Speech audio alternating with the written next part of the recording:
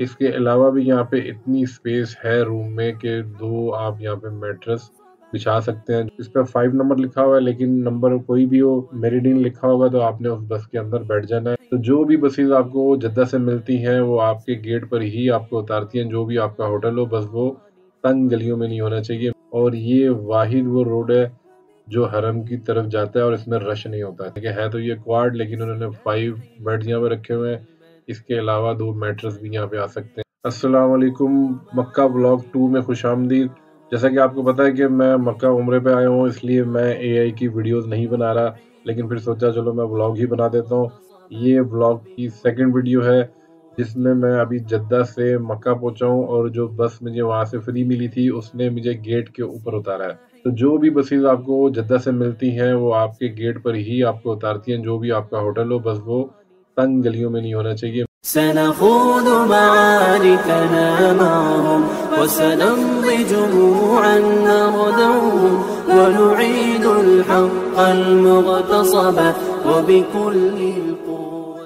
Main road पे होना चाहिए वरना वो आपके मेन रोड के करीब उतार देगी तो ये इसका नाम है ले मेरिडियन होटल जो कि फाइव स्टार होटल है और मुझे ये सबसे ज़्यादा बेस्ट इसलिए लगा कि उसी प्राइस में जो आप मक्का के करीब होटल लेते हैं एक फाइव स्टार होटल साथ उसकी फ्री शटल बस सर्विस जो कि 24 घंटे चलती है, उसका भी मैं आपको रिव्यू देता हूँ।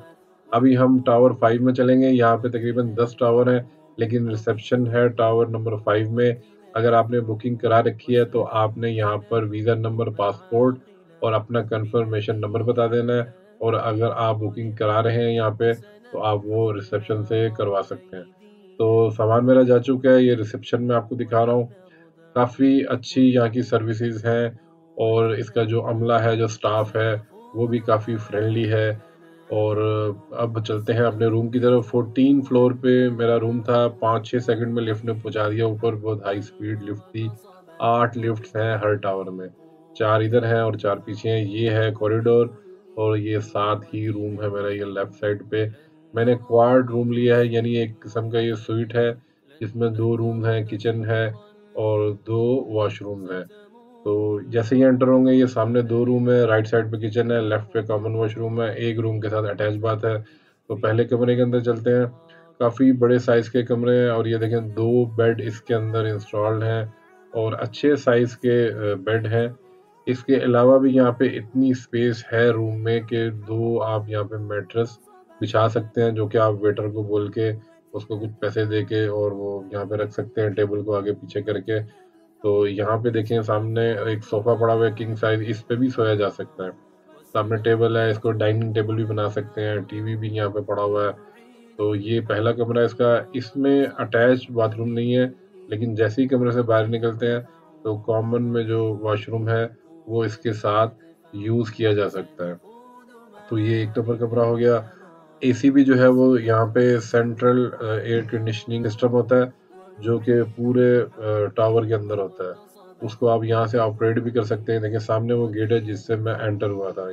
तो अब चलते हैं दूसरे कमरे में। तो यहाँ से मैं बाहर आया, अब ये राइट साइड पे दूसरा रूम है। इसके अंदर हम एंटर होते हैं। यहाँ पे इन्होंने तीन बेड इंस्टॉल कर रखे हैं। दो बेड जो है मेरे ख्याल में यहाँ पे परमानेंट रहते हैं, लेकिन ये एक इन्होंने स्टार्ट में इंस्टॉल किया हुआ है। तो तीन बेड से ज़्यादा यहाँ पे गुंजाइश नहीं है, लेकिन ये अच्छा खुला कमरा है। दो बेड यहाँ, तीन यहाँ, हालाँकि है तो ये क्वाड लेकिन उन्होंने फाइव बेड यहाँ पे रखे हुए हैं। इसके अलावा दो मैट्रेस भी यहाँ पे आ सकते हैं। एक कबर्ड भी है, जिसके अंदर लॉकर है, जिसको आप यूज़ कर सकते हैं। हेयर ड्रायर मैंने यहाँ पे देखा है वेट मशीन यहाँ पे पड़ी हुई है, काफ़ी फैसिलिटीज़ हैं। और इस रूम के साथ ही वॉशरूम है अटैच बाथ जो कि बहुत अच्छा बना हुआ है। एक यहाँ पे ड्रेसिंग है जिसको मैं यूज़ कर रहा हूँ अपने काम के लिए। पीछे एक विंडो है, लेकिन विंडो से दूसरी बिल्डिंग ही नज़र आती है तो इसको इसलिए मैंने बंद रखा है। आप ये देख रहे हैं किस तरीके से अच्छे से कमरे बने हुए हैं। और एलसीडी भी है यहाँ पे। टीवी तो खैर यहाँ पे कोई नहीं देखता, लेकिन ये कि फिर भी इन्होंने रखा हुआ है। ये आ गया वॉशरूम यहाँ पे इन्होंने शैम्पूज वगैरह सोप्स वगैरह रखे हैं साफ़ सुथरे से टॉवल्स हैं। और टिश्यूज़ हैं, इंटरकॉम भी है इन केस ऑफ़ एमरजेंसी और ठंडा गर्म पानी दोनों आ रहे हैं। हर चीज़ यहाँ पे प्रॉपर है।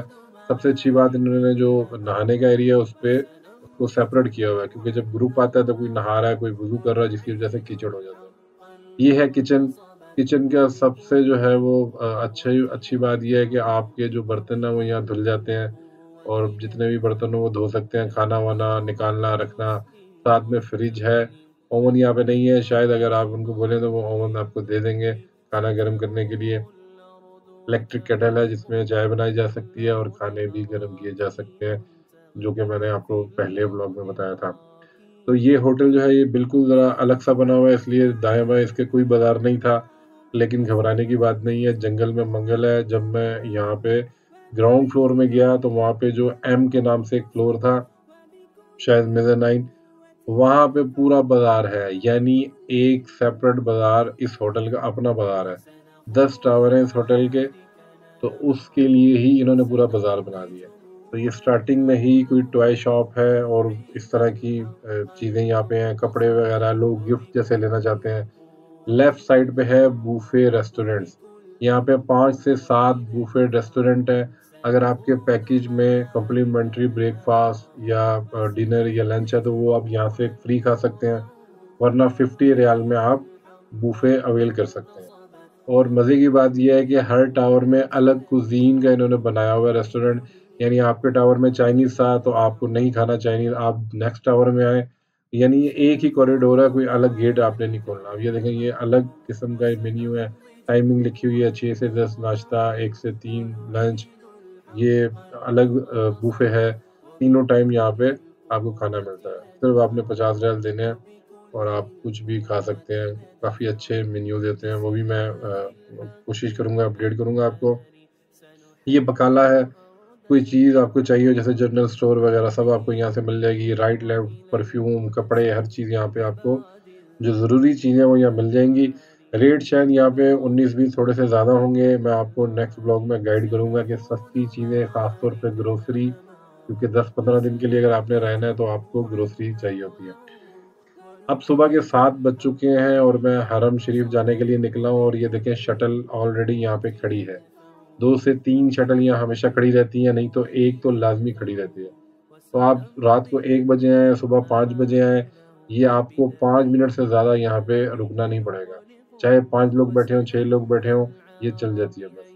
इस पर फाइव नंबर लिखा हुआ है, लेकिन नंबर कोई भी हो मेरिडिन लिखा होगा तो आपने उस बस के अंदर बैठ जाना है। ये टनल बने हुए हैं, इस टनल से ये बस निकल के जाएगी। लेकिन ये होटल है और वो हरम शरीफ है, ये मैप है, ये अंडरग्राउंड ही यहाँ से वहाँ पहुँचती है और तकरीबन इसका दो मिनट का टाइम है वहाँ पहुँचने का। तो अब इसी दौरान में आप देख रहे हैं कि एक बस और आ चुकी है, अब ये निकली भी नहीं कि दूसरी आ गई है। तो मैं अब यहाँ पे जो है टाइम ऑन कर रहा हूँ तो इससे आपको आइडिया हो जाएगा कि कितनी देर में पहुँचेगी। ये देखें, अंदर से बस काफ़ी साफ़ सुथरी है, ऐसा नहीं कि लोग खड़े हुए हैं। बिल्कुल आराम से एसी चल रहा है। बस में एक बंदा बैठा हो या कोई भी ना बैठा हो एसी चलता ही रहता है। तो ये बस का टाइम स्टार्ट हो गया।